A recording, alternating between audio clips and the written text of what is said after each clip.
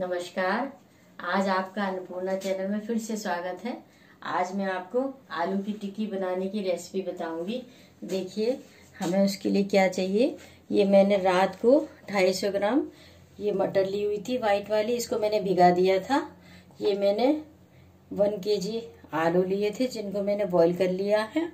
ये मैंने चार टमाटर लिए थे, जिनकी मैंने प्यूरी बना ली है। ये मुझे नमक चाहिए, ये हल्दी ये धनिया पाउडर, ये मिर्ची पाउडर, ये जीरा, ये चना मसाला, ये मैंने अदरक छोटी छोटी कट कर रखी थी, ये हरी मिर्ची हो गई, ये हींग हो गई और आलू की टिक्की में डालने के लिए मुझे ब्रेड की ज़रूरत पड़ेगी। तो मैं ब्रेड ही डालती हूँ। वैसे लोग आरा रोट डालते हैं, पर मैंने डाल अब ये मैंने गैस ऑन कर दी है। अब ये जो मैंने मटर बॉईल करके रखी हुई थी, इसको मैं इसमें डाल दूँगी। और इसको एक सीटी आने के बाद मैं इसको पंद्रह मिनट तक सिम गैस पे पकाऊँगी। ये देखिए। मैंने गैस पे ये मटर बॉईल होने रख दिए। इसमें मैं एक गिलास ये पानी डाल दूँगी इस तरीके से। और इसको मैं ऐसे चला दूँगी। स्पून ये नमक डाल दूँगी। और इसको अच्छे से इस तरीके से इसको चला दूँगी और इसको बॉईल होने रख दूँगी। एक सीटी आ जाएगी तो स्लो पे फिर मैं पंद्रह मिनट टिक्की बनाने के लिए ये एक किलो आलू जो बॉईल कर रखे थे उनको हम इस तरीके से इसमें बाउल में इस तरीके से सारे आलूओं को हम तैयार कर लेंगे। आप जो सोना आलू लीजिएगा बहुत अच्छे होते हैं उनसे बहुत टेस्टी टिक्की बनती है। देखिएगा मैंने टिक्की के लिए ये एक किलो आलू जो मैंने बॉईल किया हुआ था, उसको मैंने कद्दूकस कर लिया है। अब मैं ये कोई भी आप कॉटन का कोई भी कपड़ा ले सकते हैं या हैंकी ले सकते हैं, उसको पानी में आप इस तरीके से ये डिप करिएगा। और ये इसमें डालने के लिए ये ब्रेड आप इस तरीके से डाल लीजिएगा। आरा रोड मत डालिएगा, अगर आपको पसंद है, डालिए। मैं नहीं डालती हूँ, मार्केट वाले तो डालते हैं।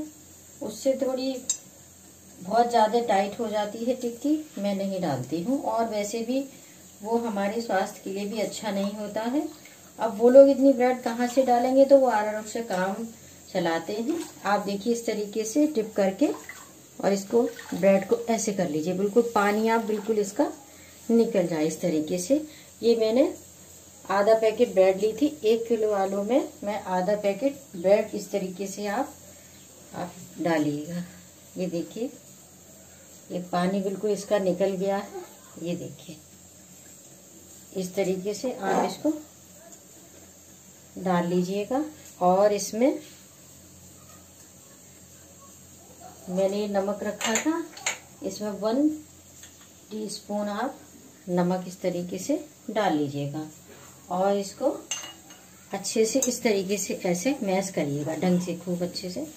ये देखिए। बनाने के लिए ब्रेड और आलू अच्छे से मैश हो चुका है। अब इसमें थोड़ा सा हम इस तरीके से मस्टर्ड ऑयल डालेंगे और फिर इनकी छोटी छोटी बॉल हमने इस तरीके से ये बॉल बना ली है। आलू और जो ब्रेड हमने मैश किया हुआ था थोड़ी सी इस तरीके से पतली बनाइएगा ये देखिए।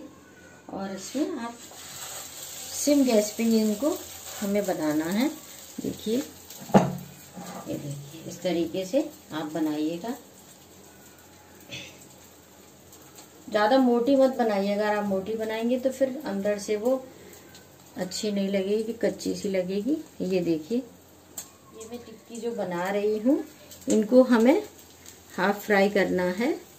फिर जब ये 10 मिनट बाद ये जब ठंडी हो जाएँगी, तब मैं इनको डीप फ्राई करूँगी। हम इस तरीके से इनको, ये ये हमारी गुलाबी गुलाबी हो गई हैं। इस तरीके से आप बना लीजिएगा। ये देखिए।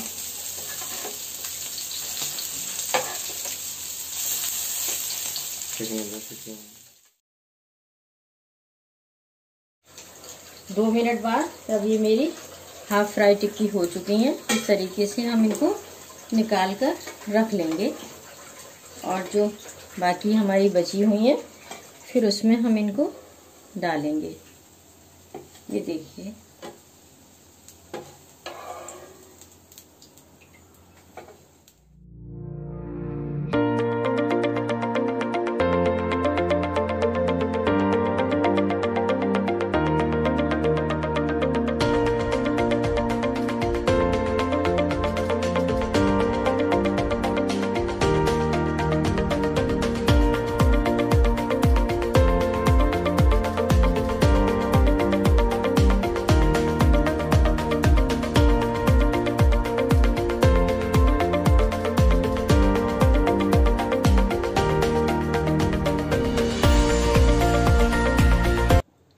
सीटी के बाद मैंने पंद्रह मिनट ये स्लो में पकाई है। अब ये मेरी मटर ये बॉईल हो चुकी है। अब मैं इसको फ्राई करूँगी। ये देखिए मैंने गैस पर ये दस मिनट हो रखी है। ये हमारा टमाटर अच्छे से भुन चुका है। ये मैंने जो मटर बॉईल कर रखी थी उसको मैं अब इसमें सारी डाल दूँगी। ये देखिएगा सब मैं इसमें टमाटर इसमें सब डाल दी है। अब मैं इसमें टू टीस्पून में ये धनिया पाउडर डालूँगी। ये देखिए। और इसमें हाफ़ टी स्पून लाल मिर्ची पाउडर डालूँगी।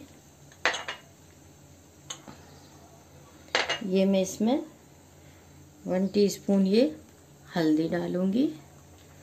और ये इस, मैंने चना मसाला ले रखा। आप जो भी इस्तेमाल करते हो, आप उसको ले सकते हैं। और इसको मैं इस तरीके से ये सब मिक्स कर दूँगी। ये देखिएगा। इसको मिक्स कर दूँगी और इसमें मैं ये जो मैंने कट करके रखी हुई थी हरी मिर्ची, उसको भी मैं सारी इसमें मिला दूँगी। ये देखिए। ये इस तरीके से आप मिलाइएगा। ये मैंने इसमें सारा मसाला डाल दिया है। इसको अच्छे से मैं मिक्स कर दूँगी और सिम गैस पे मैं इसको 10 मिनट तक इस तरीके से मैं देखिएगा मैंने ये टिक्की बनाई थी जिनको मैंने हाफ़ फ्राई करा था। अब मैं इनको इस तरीके से कट कर लूँगी। ये देखिएगा ये और मैं इसमें ये मैंने गैस जो है फुल कर रखी है। जब मैं सारी डाल दूँगी उसके बाद में गैस का फ्लेम स्लो कर दूँगी ये देखिए। कट करके मैंने इसमें ये टिक्कियाँ डाल दी हैं। अब मैं इसको फुल पे थोड़े दो मिनट फुल पे पकाऊँगी, फिर मैं सिम पे पकाऊँगी। पर इनको आप पलटिएगा नहीं। जल्दी इनको पहले दो मिनट अच्छे से पकने दीजिएगा, फिर पलटिएगा। अगर आप इनको टच करेंगे तो ये फट जाएँगे और आपकी टिक्की अच्छे से नहीं सीखेगी, करारी नहीं। अब मैं अपनी फुल गैस करके फिर ये जो मैंने टिक्कियाँ इसमें डाली हुई थी, इनको इस तरीके से दूँगी देखिए वो आप कितनी बढ़िया सीख गई हैं। ये देखिए। फुल पे करिए और आप इस तरीके से पलट दीजिए सारी जो मैंने बनाई हुई थी, ये देखिए।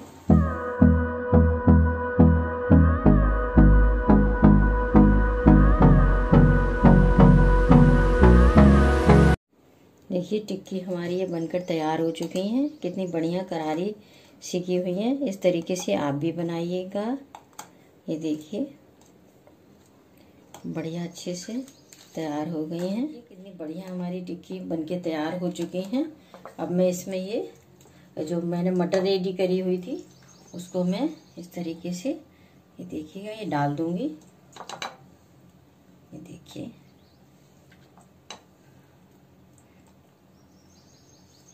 और ये मैंने चटनी बना रखी थी, खट्टी मीठी।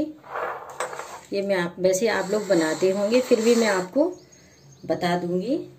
ये ये देखिए मैंने, ये मीठी चटनी इमली की बना रखी थी तो इसको मैं अब इस तरीके से, आप जैसे पसंद करते हो, वैसे डालिएगा मीठी, ज़्यादा पसंद करते हो तो ज़्यादा डालिएगा, कम पसंद करते हो तो कम डालिएगा। ये मैंने मीठी इमली की चटनी बना रखी थी और ये मैंने धनिया की हरी चटनी बना रखी थी। इसको भी मैं टू टीस्पून इस तरीके से डाल दूँगी। और ये मैंने दही फेंट के रखा हुआ था। उसको भी मैं इसमें इस तरीके से ये डाल दूँगी। ये देखिएगा, ये मेरी टिक्की रेडी हो चुकी है। अब हम इसको, आप कोई भी नमकीन ले सकते हैं, इस तरीके से इसको गार्निश करेंगे। देखिए हमारी रेडी हो चुकी है टिक्की टेस्टी आप लोग भी बनाइएगा इस तरीके से। अगर कोई कमी रह गई हो तो वो हमें बताइए बनकर तैयार हो चुकी है। आप लोग भी इस तरीके से बनाइएगा और खाइएगा। अगर आपको पसंद आए तो हमारे चैनल को लाइक करिए सब्सक्राइब करिए। Bye bye